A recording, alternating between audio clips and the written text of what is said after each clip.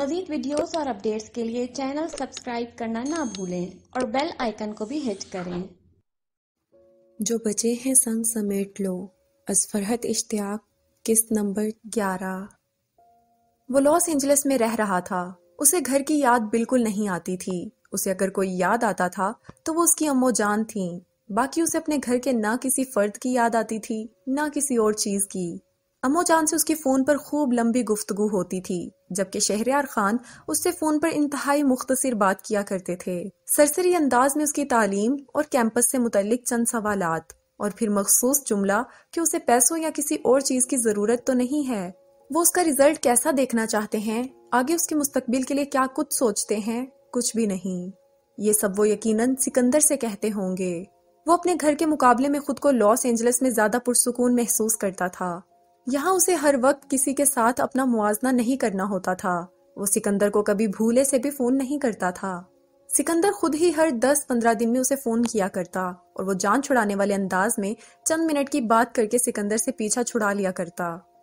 बाप के रवैये और एक बेमकसद सी मुकाबलाबाजी और उस मुकाबलेबाजी में पे दर पे शिकस्त ने उसे खासा तल्ख और संजीदा बना दिया था। कैंपस में उसकी बहुत ज़्यादा दोस्तियाँ नहीं थीं। गिनती के चंद एक ही दोस्त थे जिनके साथ वो अक्सर नज़र आता था। जिस तरह शहरियार खान ने सिकंदर को बोस्टन में रिहाइश के लिए किराए पर फ्लैट दिला रखा था, उसी तरह उसे भी लॉस एंजलिस में फ्लैट मुहैया किया गया था।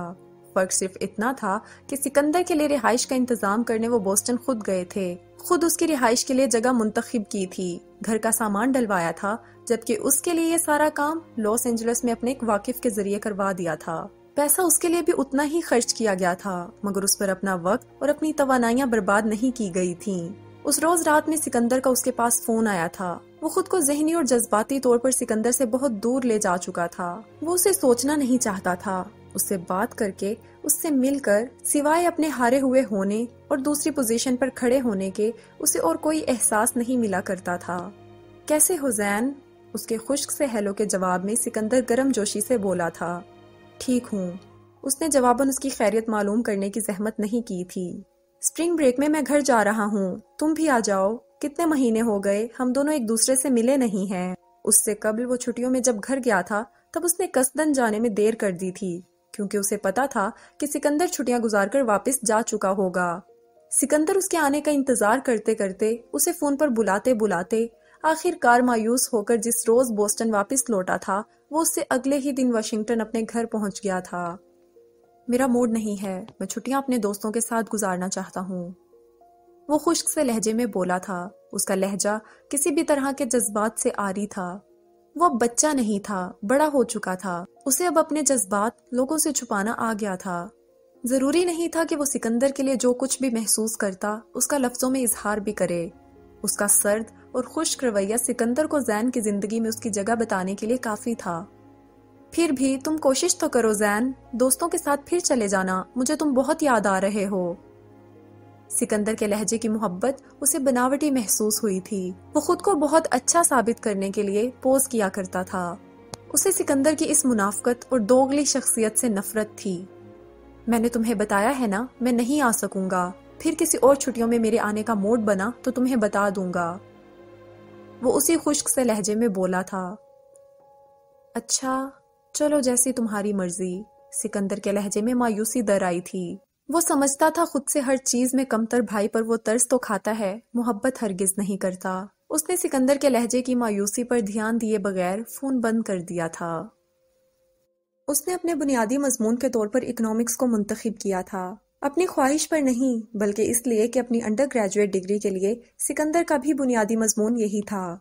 उसे कानून पढ़ने में कोई दिलचस्पी नहीं थी, मगर आगे उसने भी कानून पढ़ना था। पता नहीं उस खुद साख्ता मुकाबलेबाजी से वो कभी बाहर निकल भी सकेगा कि नहीं, या सारी ज़िंदगी सिकंदर जैसा बनने की ख्वाहिश में गुजर जाएगी। वो खुद को उस जुनून से निकालना चाहता था। वो अपने रास्ते सिकंदर से बिल्कुल अलहदा कर लेना चाहता था। लेकिन उसके अंदर सिकंदर को शिकस्त देने की ख्वाहिश जैसे आज भी कहीं छुपी बैठी थी। अपने मेजर सब्जेक्ट इकोनॉमिक्स ही के लिए उसे सेमेस्टर में कैलकुलस का इजाफी कोर्स पढ़ना था और ये कोर्स पढ़ने के लिए उसे मैथ्स डिपार्टमेंट में क्लासेस अटेंड करना थी। उस रोज वो सब्जेक्ट की पहली क्लास लेने मैथ्स डिपार्टमेंट आया था और वहाँ उसे वो मिली थी। उम्मे मरियम। वो उस दिन को एक आम सा दिन समझकर कैंपस आया था। जानता ही नहीं था कि आज उसे वो मिलेगी जिससे मिलकर उसकी ज़िंदगी से तमाम तलखियाँ खत्म हो जाएँगी। वो अपने डिपार्टमेंट से भागता दौड़ता यहाँ पहुँचा था। उम्मे मरियम का मेजर सब्जेक्ट मैथ्स था तो उसने उस क्लास में होना ही था। वो क्लास में संजीदगी और खामोशी से बैठा लेक्चर सुन रहा था। तब उस लड़की ने प्रोफेसर को मुसलसल जिज करते अपने सवालों से उसे चौंका दिया। वो मुख्तलिफ़ फार्मूलों और टर्म से मुतलिक ऐसे तकनीकी सवाल कर रही थी जिनमें से बाज के जवाब प्रोफेसर को भी मालूम नहीं थे। शायद नहीं, यकीनन वो लड़की बहुत जहीन थी। वो मैथ्स, खसूसन कैलकुलस में बहुत अच्छी थी। तब ही अंडर ग्रेजुएट लेवल पर अपने पीएचडी किए काबिल प्रोफेसर को टफ टाइम दे रही थी। ये उसका उम्मे मरियम से पहला तारुफ था, जिसमें वो उसका नाम नहीं जान सका था, सिर्फ़ उसकी काबिलियत और खुद एतमादी से आगाह हुआ था। और ये अंदाज़ा हुआ था कि वो शायद इंडिया या पाकिस्तान से है। हफ़्ते में तीन चार बार ये क्लास लेने उसे यहाँ आना था। दूसरी बार वो वहाँ क्लास अटेंड करने आया तो इतफाकन उसे उम्मे मरियम के बराबर वाली कुर्सी पर जगह मिली। वो खामोशी से बैठा लेक्चर सुन रहा था। उसके बराबर बैठी वो आज भी उसी दिन की तरह मुख्तलिफ़ सवालात प्रोफेसर से कर रही थी। और कहीं से भी नहीं लग रहा था कि वो जानबूझकर उस्ताद को परेशान करने के लिए इस तरह के सवालात कर रही है। बल्कि यूँ लगा था, जैसे उसके जहन में जो सवालात उभर रहे थे, वो बरमला प्रोफेसर से उनका ज़िक्र कर रही थी। वो मैथ्स में शुरू से बहुत अच्छा था। उसे उस डेरिवेशन में कहीं कोई कंफ्यूजन नहीं थी। अपनी आदत और मिजाज के बरखिलाफ वो बेसाख्ता उससे कह बैठा। इस पॉइंट पर आप कंफ्यूज है ना? लाए मैं समझाऊं। उस लड़की ने चौंक कर सर उठाया। उसे यूँ देखने लगी, ऐसे जैसे अभी तक वो उसकी मौजूदगी ही से लाइल्म थी। हाँ ऐसी कौन सी गैर मामूली बात थी जैन शहरियार में कि उसकी मौजूदगी या गैर मौजूदगी का नोटिस लिया जाए? सिकंदर से हसद महसूस करते करते अब वो इस हद तक तलख सोच का हामिल हो गया था कि अपने बारे में भी बहुत कम ही कुछ अच्छा सोच पाता था। आपको ये डेरिवेशन समझ में आ गई है? उस लड़की ने कुछ हैरत, कुछ खुशी से कहा था। उसने मुस्कुराते हुए सर इस बात में हिलाया और फिर उसी की नोटबुक पर उसे डेरिवेशन शुरू से आखिर तक समझा दी। कुल दस मिनट लगे थे उसे समझाने में। आपका बहुत शुक्रिया। वो मुस्कुराते हुए तशक्र आमेज अंदाज में बोली थी यू आर वेलकम वो जवाबन मुस्कुराते हुए कुर्सी से उठा था। आपने अपना नाम नहीं बताया। वो भी उसके साथ ही कुर्सी से उठी थी। उस वक्त क्लास में सिर्फ़ वो दोनों थे, जैन शहरियार। मैं उम्मे मरियम हूँ। तुमसे मिलकर खुशी हुई, जैन। उसके तारुफ के जवाब में उसने दोस्ताना अंदाज में अपना तारुफ करवाया था। उसका बेतकल्लुफ अंदाज उसे अच्छा लगा था। तुम पाकिस्तान से हो, जैन। वो दोनों साथ चलते हुए क्लास से निकल रहे थे। उसने मुख्तसर लफ्जों में उसे अपने बारे में बताया। उन दोनों भाइयों की पैदाइश अमेरिका में हुई थी। शहरियार खान की मुलाजमत के सबब उन भाइयों की अब तक की सारी ज़िंदगी पाकिस्तान से बाहर गुजरी थी। अब गुजश्ता कई सालों से तो वो लोग थे ही अमेरिका में। हाँ छुट्टियों में उनका हर साल पाकिस्तान अपने दादा के घर, जो उसे अपना खानदानी और आबाई घर लगा करता था, जाना लाजमी हुआ करता था। वो अमरीकी शहरी था, जबकि उम्मे मरियम अमरीकी नहीं थी। वो यहाँ पढ़ने के लिए आई थी। उस मुख्तसर रस्मी से तारुफ और गुफ्तगु के बाद वो दोनों एक दूसरे से रुखसत हो गए थे। चंद ही दिनों के अंदर उसे ये बात पता चल गई कि वो लड़की सिर्फ़ क्लासरूम के अंदर लेक्चर्स के दौरान ही अपनी जहानत साबित नहीं करती, बल्कि क्लास से बाहर अपने पूरे डिपार्टमेंट में अपनी गैर मामूली सलाहियतों का लोहा मनवा चुकी है। मैथ्स डिपार्टमेंट का जो सह माही मैगजीन निकला करता था, वो उसके एडिटोरियल बोर्ड में शामिल थी। ड्रामेटिक क्लब की वो रूह रवा थी। अपने डिपार्टमेंट के अलावा दीगर कई साइंस डिपार्टमेंट की मुख्तलिफ़ ऑर्गेनाइजेशन और क्लब्स की वो सरगर्म मेंबर थी। वो निसाबी और गैर निसाबी दोनों तरह की सरगर्मियों में शानदार कारकर्दगी और रिकॉर्ड रखने वाली लड़की थी। वो अमेरिका में एक अमेरिकन यूनिवर्सिटी में अमरीकियों पर सबकत हासिल कर रही थी और ये कोई मामूली कारनामा नहीं था। पहले दिन की तारुफी गुफ्तगु के बाद उसने उम्मे मरियम से अज खुद गुफ्तगु करने की कभी कोशिश नहीं की थी। हाँ हफ़्ते में तीन बार जब वो क्लास अटेंड करने आता, तब उम्मे मरियम कभी उसके पास आकर और कभी दूर ही से उससे सलाम दुआ कर लिया करती थी। वो अपने आप में गुम रहने वाला संजीदा मिजाज लड़का था। ऐसे में उम्मे मरियम या किसी भी और लड़की से दोस्ती का सवाल ही पैदा नहीं होता था। उम्मे मरियम का dramatic club Romeo Juliet stage कर रहा था। आते जाते जितनी बातें उसके कानों में पड़ी थीं, उससे इतना तो उसे पता चल ही चुका था कि उस ड्रामे का स्क्रिप्ट उम्मे मरियम ने लिखा था। डायरेक्शन भी उसी की थी और जूलियट का किरदार भी वो ही अदा कर रही थी। ये ड्रामा वो लोग किसी चैरिटी के लिए कर रहे थे। उसने भी खामोशी से टिकट खरीद लिया था। वो ऑडिटोरियम में पिछली निशिस्तों में से एक पर बैठा था। उम्मे मरियम स्टेज पर आई तो वाकई चिरागों में रोशनी ना रही थी। वो बेतहाशा हसीन लग रही थी। वो वाकई जूलियट लग रही थी। उसके आ जाने के बाद स्टेज पर फिर किसी अदाकार का रंग जम नहीं पा रहा था। ड्रामा देखने वाला हर फर्द जूलियट के शहर में गिरफ़्तार हो चुका था। वो खूबसूरत थी, मगर खूबसूरत तो बहुत लड़कियाँ होती हैं। उसे जो चीज़ दूसरी लड़कियों से, बल्कि बाकी सबसे नुमाया करती थी, वो उसकी आँखों से छलकती जहानत, उसकी छा जाने वाली शख्सियत थी। वो मबहूत सा टिकटिकी बांधे उसे देखे जा रहा था। ड्रामा खत्म होने पर वो खामोशी से ऑडिटोरियम से उठाया। दीगर लड़के लड़कियों की तरह उसने उम्मे मरियम से मिलने की कोई कोशिश ना की थी। उम्मे मरियम को तो ये पता भी नहीं चला होगा कि वहाँ वो भी आया था। इतनी बहुत सी तालियों के बीच उस बेतहाशा हसीन और जहीन लड़की को जैन शहरियार की तालियाँ कहाँ सुनाई दी होंगी? वो अपने अंदर एक बेनाम सी उदासी महसूस कर रहा था। उम्मे मरियम अपनी कामयाबी की खुशी में तमाम क्लास फेलोज को पार्टी दे रही थी। उसे सराहने, उसे पसंद करने वाले बहुत थे। जैन शहरियार तो कहीं पसे मंजर में था। हुजूम का हिस्सा बनने के लिए वो उसके घर पार्टी में जाता। ज़ाहिर है इसका सवाल ही पैदा नहीं होता था। वो पार्टी में नहीं गया था। पार्टी से अगले रोज उसकी क्लास भी नहीं थी तो वो डिपार्टमेंट भी नहीं गया। वो अपने ही डिपार्टमेंट में था और लाइब्रेरी की तरफ़ जा रहा था, जब उसे सामने से उम्मे मरियम आती नज़र आई। वहाँ वो जितनी मकबूल थी, जितनी उसकी दोस्तियाँ थी, यहाँ भी उसके कुछ ना कुछ दोस्त ज़रूर होंगे, जिनसे वो मिलने आई थी। वो उसे देख लेने के बावजूद ना देखने का तासुर देकर खामोशी से गुजर जाना चाहता था। मगर ये देखकर उसे अपनी जगह पर रुक जाना पड़ा कि वो उसी की तरफ़ आ रही थी। वो हैरत जदा सा खामोश खड़ा उसे अपने पास आते देख रहा था। कल कहाँ थे तुम? वो आते ही बगैर सलाम दुआ के खफगी से बोली, कल? हाँ कल। अब ये मत कहना कि तुम्हें पता नहीं है कल क्या था। वो खफा खफासी उसे देख रही थी। कल क्या था, मरियम? अपने दिल में हैरत और बेतहाशा खुशी महसूस करते उसने बजाहिर उसे छेड़ा था। क्या वाकई उम्मे मरियम ने कल उसके ना आने को महसूस किया था? कल पार्टी रखी थी ना मैंने अपने घर पर? सब आए थे, सिवाय तुम्हारे। वो नाराजी से उसे घूर रही थी। मगर तुमने मुझे बुलाया कब था? वो मुस्कुरा रहा था। मैंने सारी क्लास को इनवाइट किया था और मुझे अच्छी तरह याद है, जब मैंने क्लास में पार्टी का ऐलान किया था, तुम भी क्लास में मौजूद थे। मैं इज्तमाही दावत दिए जाने पर कहीं नहीं जाता। मुझे मजमा का हिस्सा बनने में कतन कोई दिलचस्पी नहीं है, वो इस बार कदरे संजीदगी से बोला था।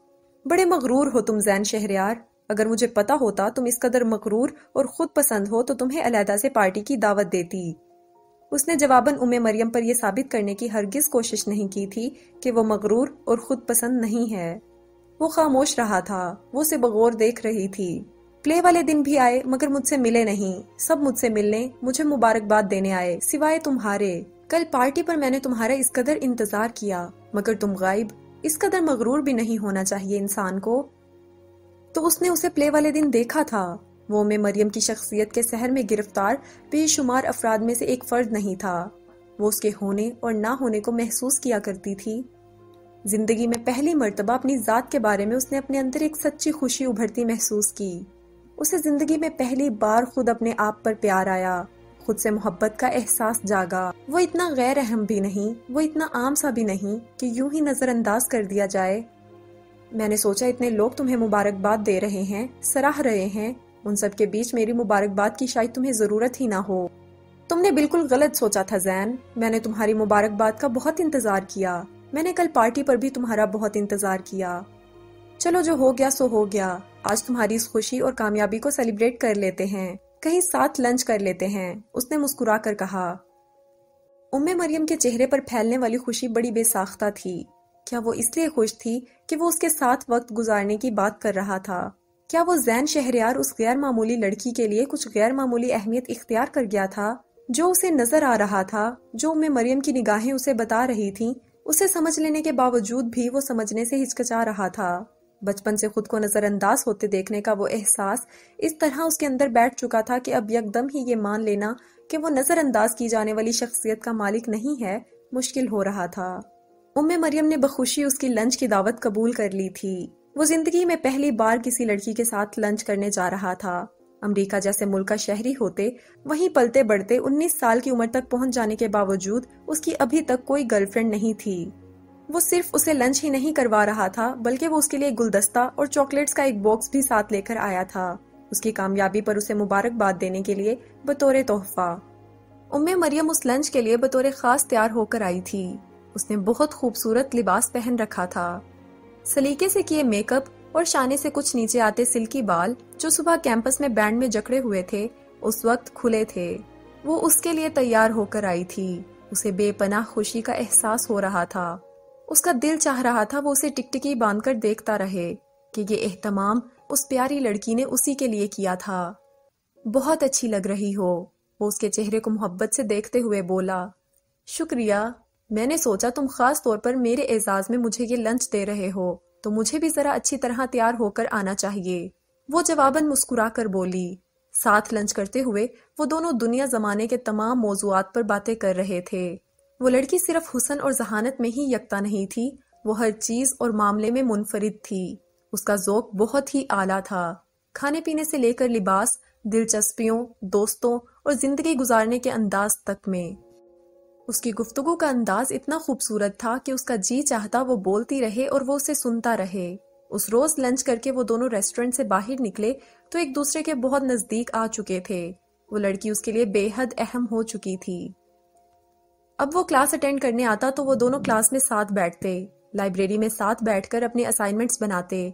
लाइब्रेरी, जिम, कैफेटेरिया, कैंपस के आसपास की दीगर जगहें, ऐसी कोई जगह ही नहीं थी जहाँ वो साथ वक्त नहीं गुजारते थे। वो कमगो था, अपनी जात में गुम रहता था, कुछ ज़्यादा सोशल वर्क भी नहीं था, मगर अब उम्मे मरियम के साथ वो बेतकान घंटों बातें किया करता था। कैंपस में जिन क्लब्स की सरगर्मियों में वो मसरूफ रहा करती थी, उसे भी ज़बरदस्ती उनमें शामिल करने की कोशिश करती। और वो सिर्फ़ और सिर्फ़ उसके साथ ज़्यादा से ज़्यादा वक्त गुजारने की धुन में उन सब में शामिल होता जा रहा था। वो पाकिस्तान से आई थी और यहाँ अपने चचा के पास रह रही थी। वो बहुत अच्छी फैमिली की लड़की थी। वो जिस वक्त उसके साथ होती, तब तो उसके साथ होती ही थी, मगर जब साथ ना होती, तब भी साथ महसूस हुआ करती। वो रात उसे सोचता, उसकी बातें याद करके मुस्कुराते हुए सोता था। अब उसे घर की रत्ती बराबर भी याद नहीं आती थी। शहरियार खान अब भी उसमें और सिकंदर में वाजिया फ़र्क रखते, मगर उसे उससे भी अब कोई फ़र्क नहीं पड़ता था। अब वो सिकंदर को सिरे से सोचा ही नहीं करता था। उसे ज़िंदगी से प्यार हो गया था। उसे ज़िंदगी में पहली बार खुद अपने आप से प्यार हो गया था। उसका खुश रहने को दिल चाहता और वो बेपनाह खुश रहता भी था। उसके दिल ने उससे कहा, वो उम्मे मरियम का साथ कुछ घंटों, कुछ महीनों या चंद सालों के लिए नहीं, बल्कि उम्र भर के लिए चाहता है। हाँ वो उम्मे मरियम से मोहब्बत करने लगा। वो लड़की उसके लिए नागुजीर हो चुकी थी। वो उसके साथ अपनी सारी ज़िंदगी गुजारना चाहता था। वो दोनों एक दूसरे के लिए जो भी जज्बात रखते थे मगर अभी तक एक दूसरे से उनका इजहार नहीं किया था।